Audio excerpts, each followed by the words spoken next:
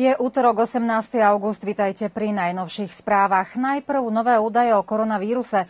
Za posledný deň bolo v Srbsku testovaných 9186 osôb, z čoho 108 ľudí malo pozitívne výsledky. Na nemocničných lôžkach momentálne leží 1507 pacientov s diagnózou korona, na respirátory je napojených 64 pacientov a za posledných 24 hodín 4 zomreli. Prezident Aleksandar Vučič sa dnes o 11. hodine v budove generálneho sekretariátu prezidenta stretol s predstaviteľmi Chorvátskej národnej rady v Srbsku. Po stretnutí sa médiám prihovorila predsednička Chorvátskej národnej rady Jasna Vojničová, ktorá povedala, že s Vučičom viedli veľmi príjemný a konštruktívny rozhovor. Témami rozhovorov boli konkrétne veci, ktoré sú výzvou pre chorvátske spoločenstvo, ako je priestor pre chorvátske spoločenstvo v Belehrade, chorvátske školské centrum a zviditeľ zviditeľnenie tejto komunity. V Novom Sade sa mal konať tradičný poľnohospodársky veľtrh, ktorý sa kvôli pandémii presunul z jary na jeseň. Mal sa konať v polovici septembra, no po zvážení aktuálnej situácie sa definitívne ruší, vyhlásil riaditeľ Novosadského veľtrhu Slobodan Cvetkovič. A je to škoda, lebo podľa počtu prihlásených vystavovateľov to mal byť najúspešnejší poľnohospodársky veľtrh za posledných 5 rokov. Organizátori plánovali meriať návštevníkom pri vstupe teplotu a k vstupenkám rozdávať aj ochranné rúšky rúška, no napriek tomu, že sa počet novonakazených zmenšuje, problémom je vycestovanie takmer všetkých zahraničných vystavovateľov a tiež ohraničenie počtu ľudí na hromadných podujatiach. Cvetkovič povedal, že podľa vzoru najväčších veľtrhov v Európe sa teraz rozvíja platforma, aby sa veľtrh organizoval virtuálne. Najbližší riadny veľtrh sa plánuje na 15. až 25. mája 2021.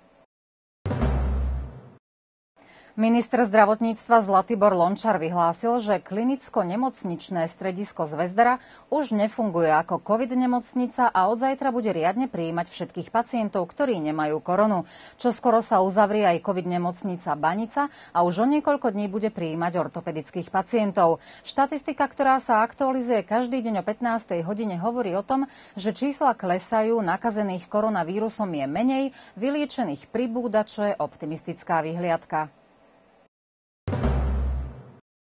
Epidemiolog Branislav Teodorovič vyhlásil, že začiatok školského roka bude zlomovým bodom v celkovom postoji k epidémii.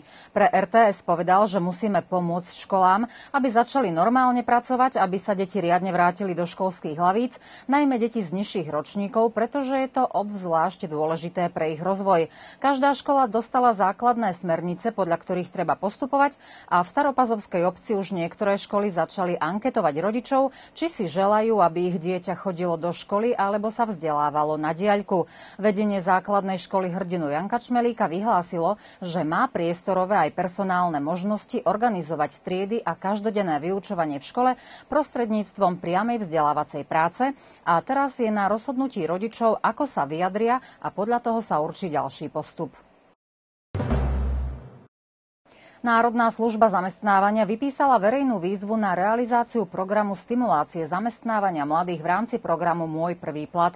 Do programu sa plánujú zapojiť mladí nezamestnaní minimálne s ukončenou strednou školou, ktorí ešte nemajú prax aby sa zamestnali v niektorej zo zapojených firiem, kde im bude po dobu 9 mesiacov zabezpečený mesačný plat 20 tisíc dinárov pre mladých s ukončenou strednou školou a 24 tisíc dinárov pre tých, ktorí majú ukončenú vysokú školu.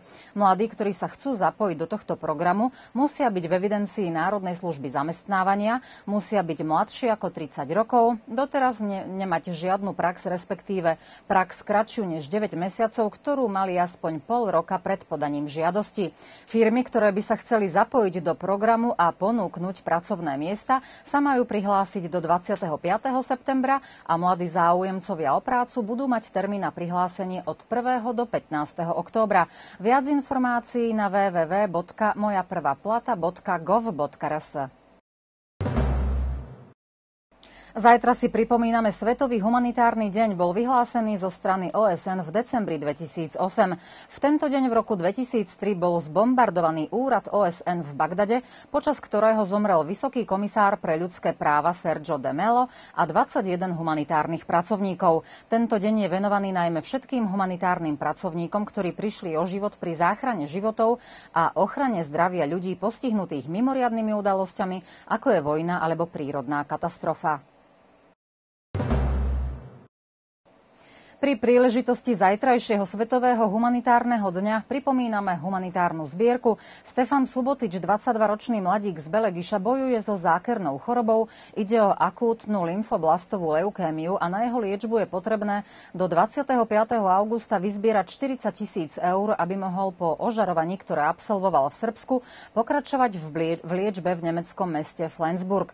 Všetci, ktorí majú záujem a ochotu pomôcť, môžu poslať SMS s obsahom 360 na číslo 3030 alebo môžu ľubovoľnú sumu poslať na účet 160 48 36 12 69.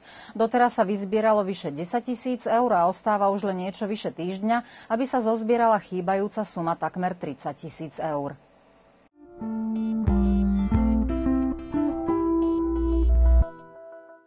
Meteorológovia predpovedajú na stredu polooblačné počasie, menej slnka, viac oblačnosti a počas viacerých častí dňa dážď, do obeda slabší dážď, podvečer by sa malo riadne rozpršať. Hodnoty na teplomery od 18 do 26 stupňov a čo sa týka vetra, po celý deň bude fúkať zo západu, do obeda mierne, popoludní len slabo. Na záver sviatky dnes gratulujeme k meninám Helenám a Elenám. Zajtra je v kalendári zriedkavé ženské meno Vratislava.